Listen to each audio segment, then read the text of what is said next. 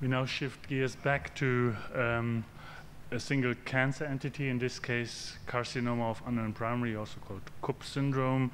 And as um, at least some of you might be not so familiar with that type of cancers compared to, for example, lung cancer, what we heard before, I would first like to briefly introduce you into the topic, and uh, this will be followed by the few data that are available on the molecular characterization of disorder of this disorder, and finally, um, as CUP syndrome, cancer of unknown primary, is um, probably an example as good as it can get for a tumor agnostic uh, treatment regimen.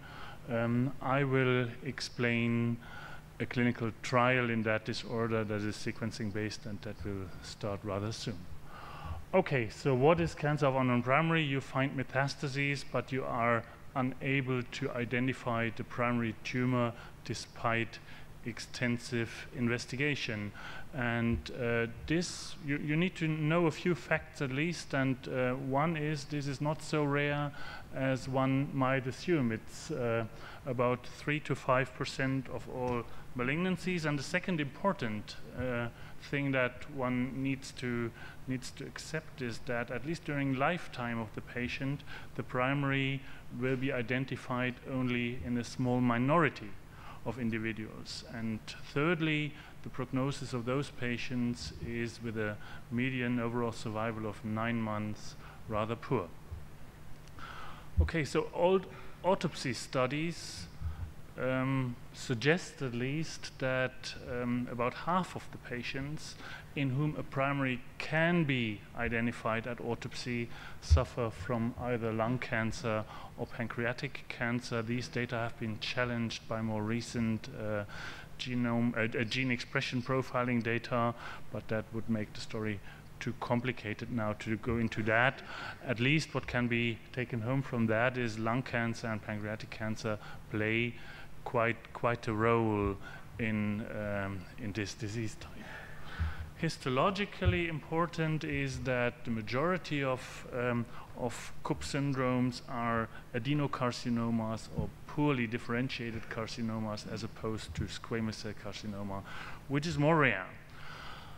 Another important point to note is that a subset of the patients with CUP syndrome belong to more favorable prognostic subsets. This is about 15 to 20 percent of all cases, and as one example, um, women that have isolated axillary lymph node metastases without an identifiable breast cancer uh, will be treated anyway as a breast cancer and then have a better prognosis as compared to the vast majority of patients. And this is an example of very similar clinical pathological situations um, in which likely primaries can be assumed and patients treated accordingly, making a better prognosis for those patients. Nevertheless, the vast majority of patients, 80 to 85 percent of all uh, individuals with the CUP syndrome, belong to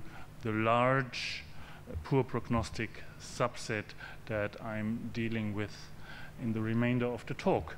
So what can be done for those patients nowadays? Standard is a platinum-based doublet chemotherapy, often uh, carboplatin taxol, but also cisplatin taxol, cisplatin uh, uh, gemcitabine.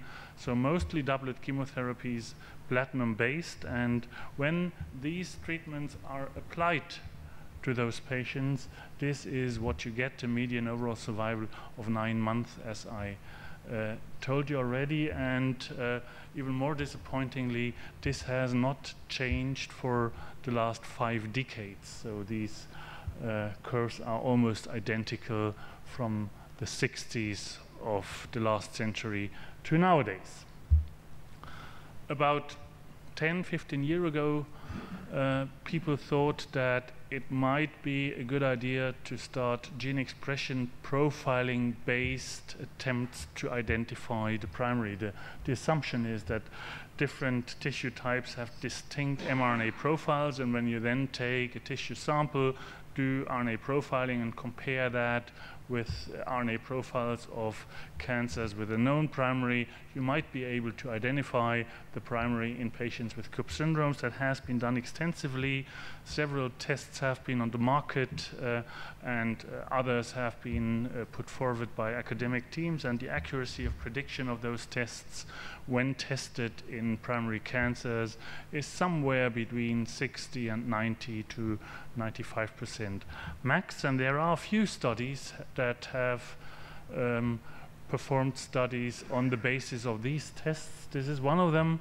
Uh, so it, it's all uh, retrospective analysis. This is an, an analysis where people, uh, pa patients that have been treated with carboplatin uh, Taxol-based regimen have been analyzed retrospectively with a gene expression profiling test and then subdivided into two, sorry, into two groups, into a group that would be by primary identification be expected to be responsive to a platinum-based uh, chemotherapy regimen, and into another group that might be expected to be non-responsive. And when you do something like that, then you indeed see that the response rate, but also the progression and overall survival in those individuals that ha have been assumed to, to be responsive to platinum-based chemotherapy indeed do better. Although, once more, this is a retrospective analysis and a, a rather small trial.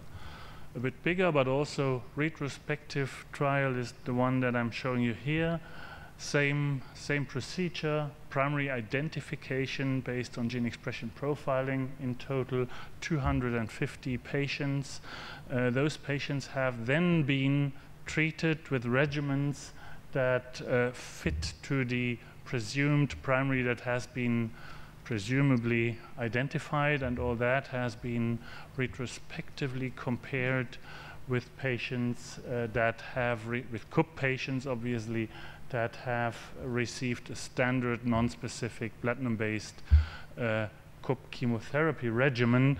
And as you can see here, at least for a retrospective analysis, this difference is quite disappointing.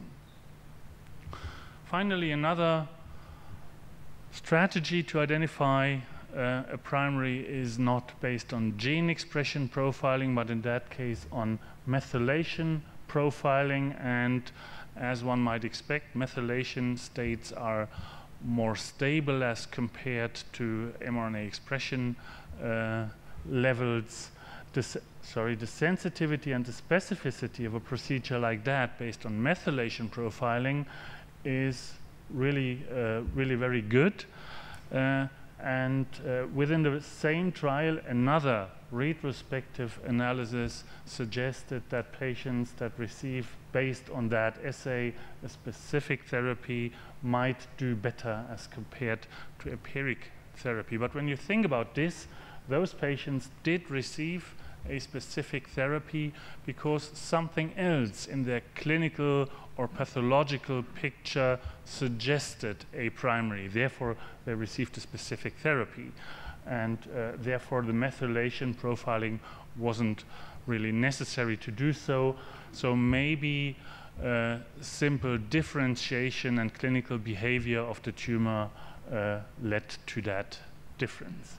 In any case, a randomized trial that tests this assumption that gene expression profiling based specific treatment is or might be superior to unspecific uh, CUP treatment. This assumption is tested in an ongoing clinical trial by a French group. It's called the GEFCAPI um, 04 trial and will hopefully help us to understand whether this, this leads somewhere or not. Similar to other tumor types, lung cancer and, and many others, uh, genome profiling, so mutation analysis, has obviously also been performed by, by several groups in, uh, in CUP tumors, and what comes out is not unexpectedly, unexpectedly a, a very similar picture as compared to other tumor entities. You see some mutations that are very frequent, and then you see this long tail distribution. Several groups have done that with very similar results. TP53 KRAS, SMAD4, these are all frequent mutations. But when you look a bit more in detail, then there are at least some of the mutations that might be targetable. And the most recent analysis, mutational analysis of, of CUP syndromes suggests that about one third of the patients harbor mutations that uh, can that are druggable at an evidence level two or three. This analysis also for the first time looked at tumor mutational burden in, in those patients. And as you can see here, there are quite a few patients that uh, harbor a significant amount of mutations that might be amenable to uh, immune checkpoint inhibitor treatment. This is now an analysis, um, as you can see from the big number for, for uh, a CUP trial, very big, that is based on Foundation Medicine results. And this analysis also looked at the mutational burden in those CUP patients. And what you can see is that a high tumor mutational burden is found in approximately 10% of the patients um, with adenocup or undifferentiated CUP, and that the mutational burden is significantly higher, at least in this analysis, twice as high, 23%, in patients suffering from squamous cell CUP, which is obviously a rare entity. One very recent study also did mutational analysis in CUP patients from circulating tumor DNA, showing at least that this is an approach that is feasible, although the detection rate is significantly lower as compared to when you sequence primary tumor mat material, which is also not unexpected and not heard of. Two cases that show that also in the CUP field, patients might benefit from targeted therapy. This is actually a patient that has been published by, by Jeff Ross. It's um, uh, a woman that um, was diagnosed with an abdominal mass and a brain lesion. It, uh, histologically, it was a poorly differentiated carcinoma, and the patient progressed after several cycles of CUP standard treatment, carboplatin, docetaxel in this case, and then by genomic profiling, a MET amplification was found, and this res uh, resulted in a durable response. And I do believe, when talking to Jeff uh, lately, that uh, she continued, continues to be in durable response or durable remission. Another patient published from a group in Heidelberg um, dealt with a 44-year-old female patient. The initial diagnosis was soft tissue sarcoma, poorly differentiated soft tissue sarcoma, and the patient progressed after surgery, irradiation, and chemotherapy. And um, when the reference pathology was performed, then the diagnosis was revised to poorly differentiated adenocup and uh, a genetic profile led to the finding that there was a PD-L1 amplification. Subsequently, the patient received treatment with pembrolizumab, and this results, resulted also in a durable and still ongoing remission, thereby highlighting that patients with CUP syndrome might benefit from uh, targeted treatment as well.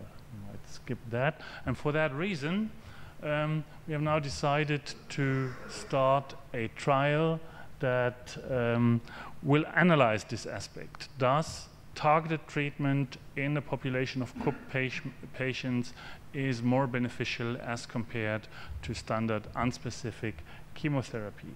For that, um, in again uh, a large number of CUP cases, the number of individuals harboring mutations in the treatment strata that will be employed in that trial has been an analyzed and as you can see here about 36% of the patients harbored from, from that uh, collective harbored a mutation relevant to one of the eight study treatment options offered in that clinical trial. And also importantly about 6% of those had even more than one treatment option, which might turn out to be a problem uh, when decisions are made on the actual treatment. Here is the study outline. It looks a bit complicated, but it isn't. Uh, I will quickly guide you through it. In total, almost 800 patients will be included in the trial. Each of the patients will, at diagnosis, receive a Foundation Medicine-based panel sequencing. After that, each of the patients will receive three cycles of induction chemotherapy, platinum-based, and uh, subsequently the patients that do not or have not, at least not progressed after those three cycles will then be randomized in a three to one manner into control arm, which is another three cycles of a platinum-based chemotherapy versus an experimental arm that consists out of nine treatment strata. Seven of those are targeted treatments mutation based, and two of those are immune checkpoint inhibition based. For those patients that do or have progressed after these initial three cycles, uh, these treatment options are also available, but outside of the randomization. The patients that do go into the trial are newly diagnosed patients with adeno or poorly differentiated CUP syndrome with a reasonable performance status and due to the large number of patients that are included, almost 800, this will be an international trial that takes place in 25 countries. So taken together, I've shown you that disseminated or undifferentiated CUP comprises the vast majority of CUP cases and is associated with poor prognosis. There is a smaller subgroup of patients that belong to a more to, to one of several more favorable subgroups. The treatment standard up to now is platinum-based doublet chemotherapy, whether primary identification by gene expression profiling or methylation profiling will be helpful is out in the blue up to now, but a randomized trial examining this is currently running. Genome sequencing approaches can identify, similar to other tumor types, potentially druggable mutations also in patients with CUP syndrome, and for that reason, a large clinical trial analyzing the impact of targeted treatments in patients with CUP syndrome will start soon. Thanks for your attention.